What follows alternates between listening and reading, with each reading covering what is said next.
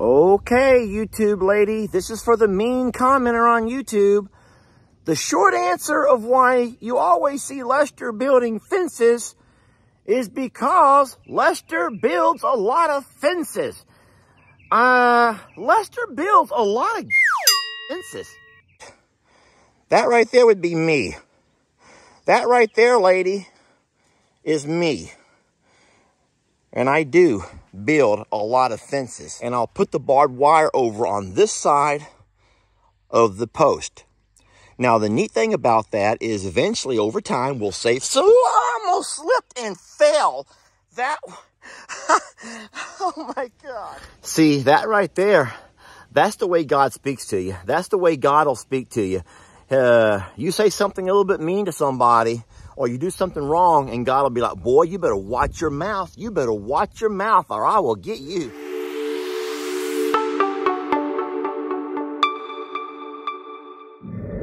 Hey folks, Longhorn Lester here, and I have put it off long enough. Today I have to complete a fencing project to get Tex and family over here the riffraff between he and Billy had gone on forever, and now it's starting with Moses. You've seen those videos. I'll explain the whole thing to you in a few minutes. Let me get uh, turned around, and we'll drive over there, and I'll show you what I'm working on. All right, you guys come on. This is going to be a lot of fun, and uh, this is the step we've been waiting for. This is the this is the final piece of the puzzle to get those cows over. So it's an important day for me. All right, I want to show you what I'm going to do, what my plans are, and uh, try to follow along with me. I'm going to put my corner post right here and I'm going to run me a short fence to this corner of the garage is so that whenever I want to bring my tractor, my four-wheeler, my, you know, my lawnmower or anything that I need in the barn, feed, hay, I can come out of this big garage door and I'm already in my cattle pasture. I don't have to go through a bunch of gates. I want to take you around front though and show you what's going to happen in the front of the garage. Okay, so now I want these two doors to be an actual inside my yard. So I'm going to take my fence, the cattle fence, and I'm going to start it at this corner post. I'm going to put me a corner post right here, and I'll go right over there to about that cluster of trees. And at that point, I'm going to turn and kind of go up that hill to where we at? That column right over there. Now, the reason I'm going to do it this way is because this is going to be a part of my yard. Uh, yeah, it makes a big yard, and it's kind of dirty now because I don't have a lot of grass growing here yet. But I want this to be a part of my yard so that I can use this big garage door and the little access door to use when I want to bring my lawnmower, my tractor, my four-wheeler in through here without having to stop and open a lot of gates. So there is a little bit of, uh, there's a reason behind the madness. But uh, the reason that I'm going to use barbed wire is because it's cheap, it's fast, it's easy. I can get it done in, in a day. As soon as those pet posts settle and the concrete hardens, I can run that wire and be done. Uh, eventually, though, I'll come back when I can afford it and I'll put these same kind of boards here on the other side of the post. So you'll have, from this perspective, it'll look real pretty. It'll match up to that right there. And that's what we would eventually, you know, envision for being, you know, as beautiful as we can possibly make it. But the barbed wire on the other side will serve a practical purpose in the here and the now. All right, so this over here will be my official ground breaking hole for this fencing project. I've just broken the ground. I've gone down about two and a half foot deep. I'm going to have to bring me a post and a bag of concrete, let that set and get hard. I'll run me a string line down and I'll set my next post right over there so I can make sure that this fence is straight. I want to show you all something, and this is no knock on Jake or my dad or my brother or anyone else that does gates and fences. But if you're going to put a fence and you know there's going to be a gate, guys, if you can, if you already have the gate, just lay it down between your post and make sure you put the post in the exact right spot because you want to make sure you have about that much on this side. You need that much space for these little brackets right here. You also want to make sure you come close enough on the other side so it'll close easily and you can still get maybe a store-bought, a real latch system, or at least, if nothing else, your chain will go all the way around. A lady on YouTube. Now listen to me, I'm not trying to be mean, which means I am gonna be mean, but no, a lady on YouTube, she comments and she goes, you act like you're the only one that ever makes a fence. She goes, every Morrow man that I know can build a fence. They just don't go around showing off all their fencing skills.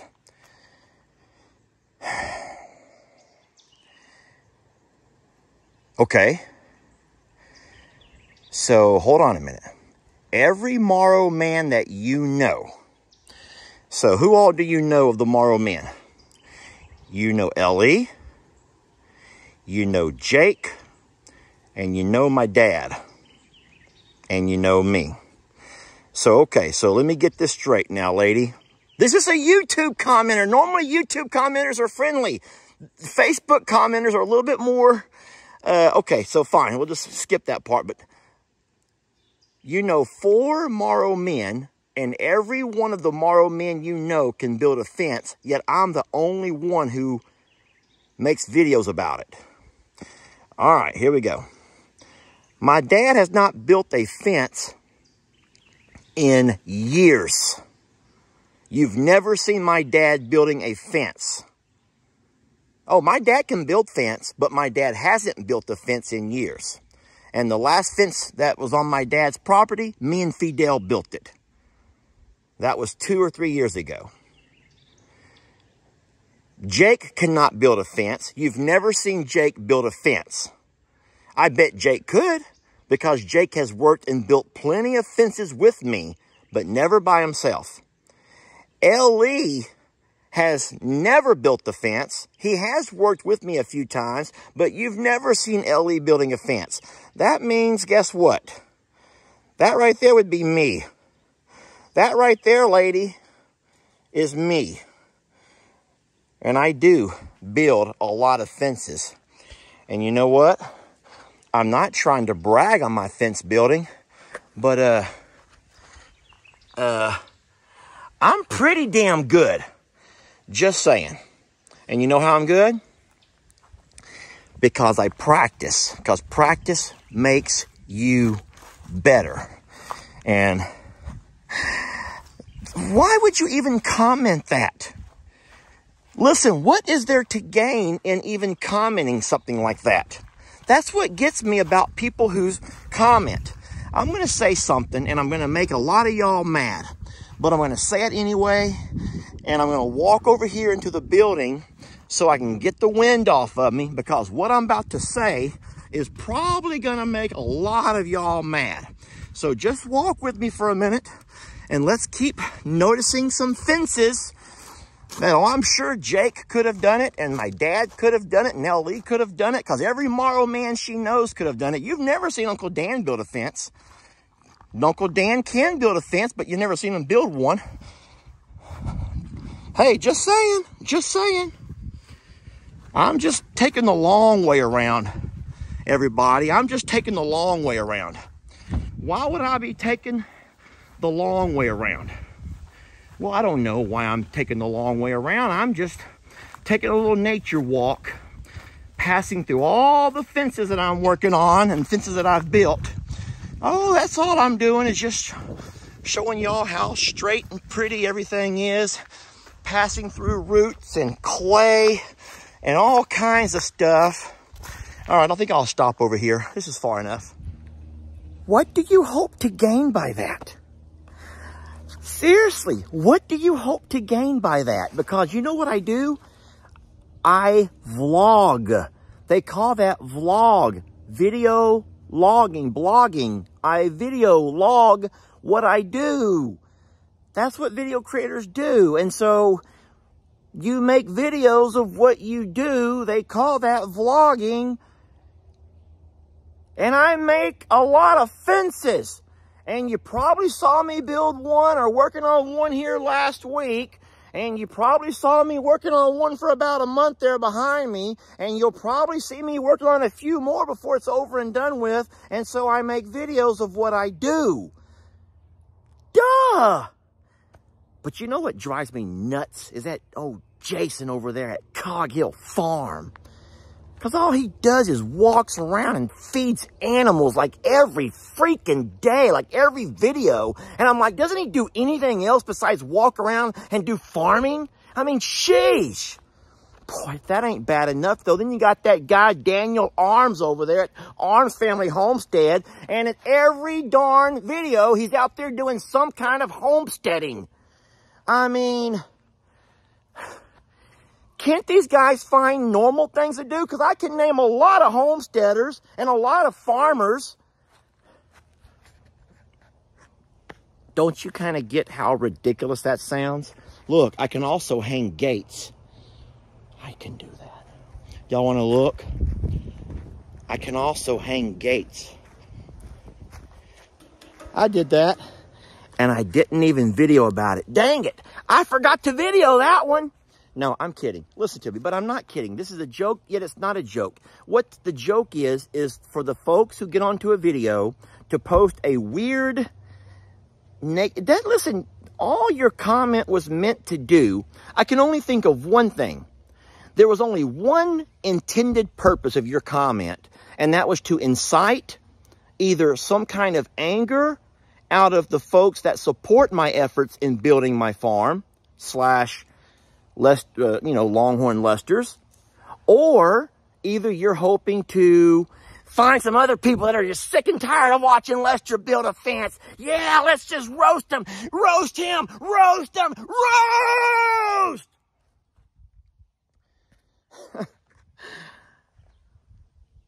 it's really, really, what is the point? Like, what is the point? I thought I had a spider climbing on me. so I'll tell y'all a funny story, but it's not that funny. Uh, first of all, let's stop all the dramatics. Let's just calm down. Let's all take a breath and calm down because all that screaming roast and everything probably is going to pull the neighbors out of their quiet homes and we don't want that. Let me turn the camera around and get it off oh, my face. this one here is going to require a walk down to the river. You know what? Let's not go to the river. Let's just walk over to Lester's prayer place. Let's walk over to Lester's prayer place and talk about commenters. Now, I'm going to tell y'all the pros and the cons of running a video page. And if you're smart and if you have mind control, you can make even the negatives into a positive. All right, so let's just go back to about five years ago. The first time that many people ever heard of this guy, Lester this guy who came home to his farm after it had been flooded, covered in six foot of water by a hurricane flood, right? So you saw this guy walking up his driveway and oh my God, he's gonna sit there and cry because there's some dead animals. Oh my God, he's gonna sit there and get emotional because this little pig runs out to meet him because he's been evacuated for a couple of days and this pig has been alone and had to try to find a way to survive this horrific flood.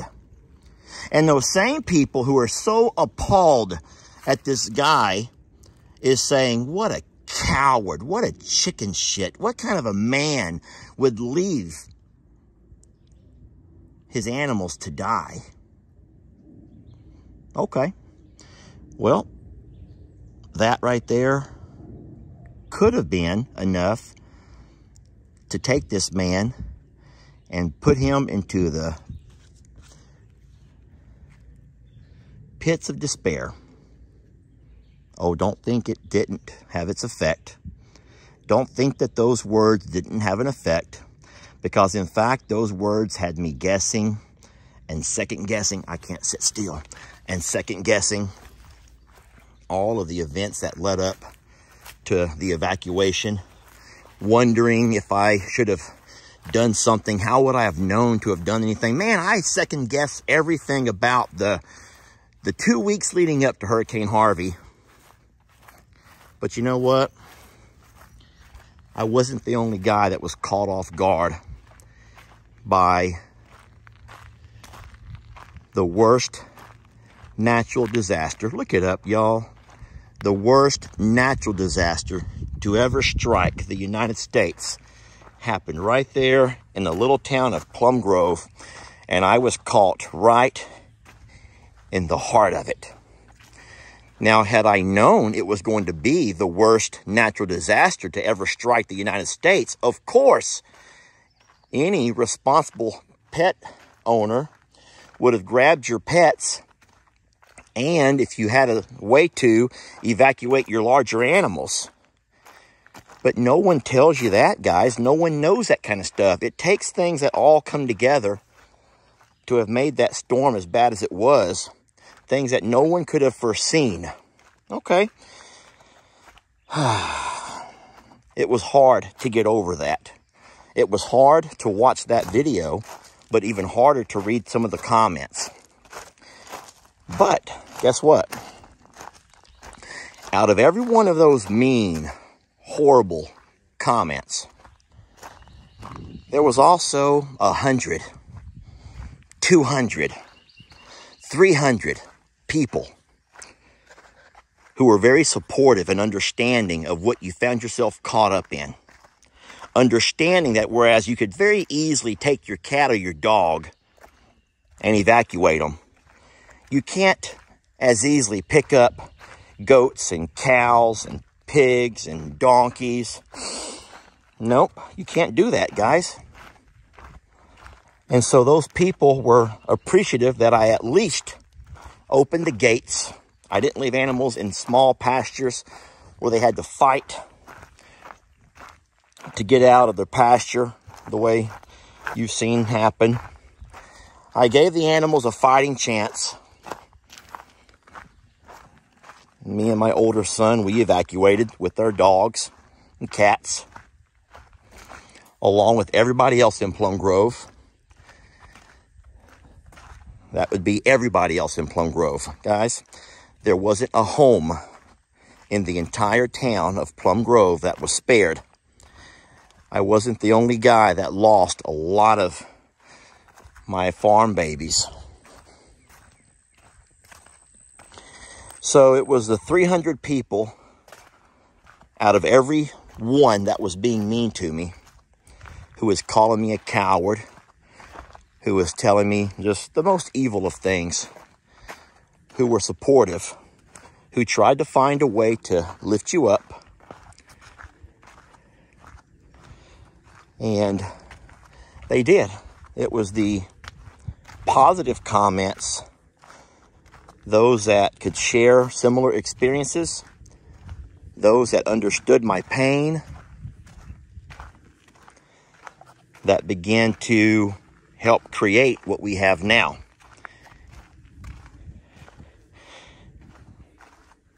Well, it's just the best farm page on the internet, that's all. It's just the best farm page on the entire internet. That's just my opinion. But it's a pretty darn good farm page. I'm going to sit here in the shade and look out over that river.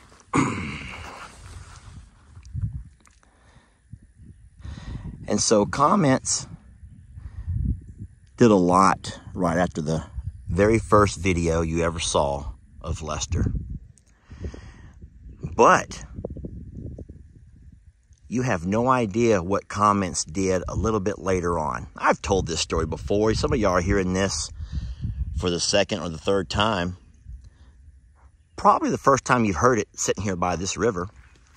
But once I began to rebuild fences, turned my barn into a home. You want to know what it was that kept me going? Do you want to know what it was that kept me going when I looked around and couldn't find a whole lot to keep going far? When everyone that I knew had up and sold their property, up and he abandoned their farms, including their animals, a lot of them including their animals. When everybody I knew found some way out of of that situation, I chose to rebuild. I chose to rebuild my home, rebuild my farm, and uh, as hard as it was, as hard as it was, it were comments that I would read at night as I was working there by day. And by night, I would lay there and it was hard to sleep. You know, there was no air conditioning. I remember my shoulder was rubbing up against the wall that had only raw insulation. There was no plastic or no nothing to cover the insulation. So I had this horrible rash down one side of my body. but it was comments that I would read. I'd sit there and open up my phone and read comments on the latest video of whatever room I was working on or whatever fence I was building. And you see, at that point, no one had anything mean to say about a guy who was trying to rebuild his life. Every comment was positive and uplifting, and it encouraged me to keep going. It was the kind of comments that made you feel like what you were doing was the right thing. And as, as tired as you were, and as just depleted spiritually, emotionally, and especially physically, you had to just get up and keep going. The next day, you just kept going. And isn't that funny that through all that time and through all those comments, people had a really hard time being mean to a guy that was trying his best to rebuild his life. But look where we're at now. Look where we're at at now. Now you have a guy that has not only rebuilt his farm, but turned his farm into a forever home for farm animal rescues. Are y'all seeing the size of some of the fish in this river? That was a big Opelousas catfish right there. He came to the top and grabbed that insect. But see, that's what I'm talking about. Now we've gotten to a point to where now you don't see a guy rebuilding his home. Now what he's doing is building his dream. And doesn't that piss you off? Doesn't that just piss you off? Oh, I know I'm talking mean, and this is probably a little bit too harsh for a lot of folks to watch. But it's true. Every word of it is true. Back when I was building fences and rebuilding my home and trying to find a way to turn, you know, get my life back in order, there was no mean comments. But now that my life is turned around for the better, and instead of rebuilding my home, I'm actually building my dream. Now all of a sudden it's a nice time to be mean again. It's a real nice time to to tell this guy what a sorry piece of and just what a really Do y'all not see how there's something wrong with that picture? What I'm doing is building a fence. I mean, come on, I'm building a fence. I'm building a fence the same way I've built many, many other fences.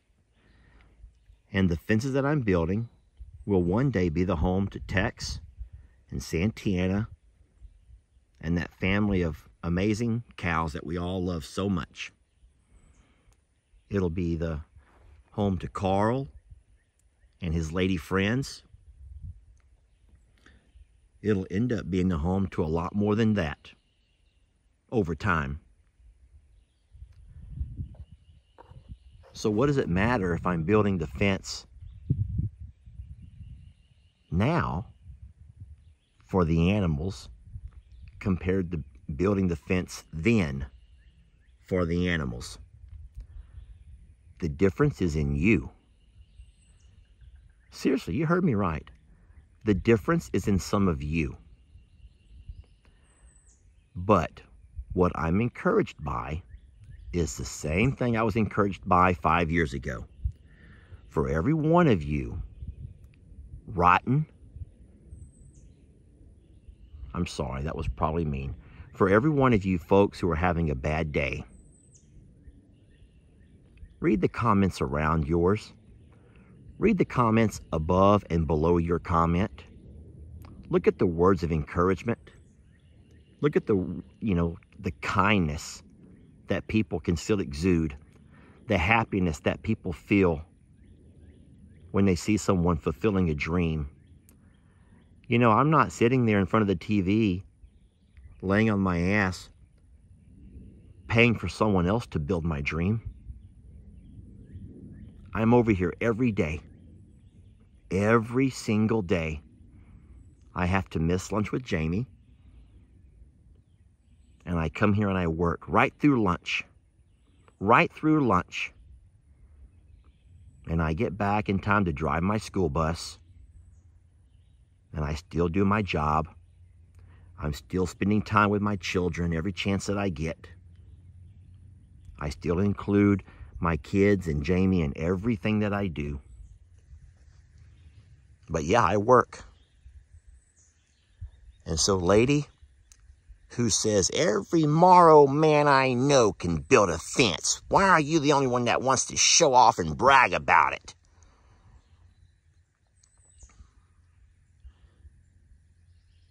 Do you not like my fences? what do I not do for you?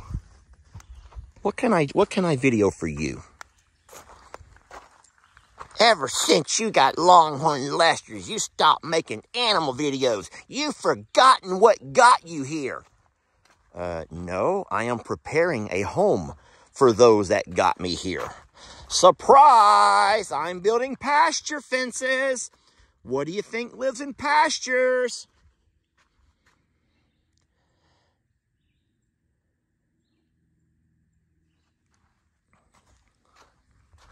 Tell you what, it was a lot easier walking down this river road than it is walking back up. But I needed that little bit of a break. So thank y'all for listening to me rant. And that wasn't really a rant. That was more of a, just a fun conversation about people. I'm going to plant grass seed here. I'm going to plant grass seed here. I want to take my tractor and kind of clean some of that out, at least kind of level it off a little bit. And then I'm going to come by and plant grass seed. It's very shady here. So I have to get the right kind of seed.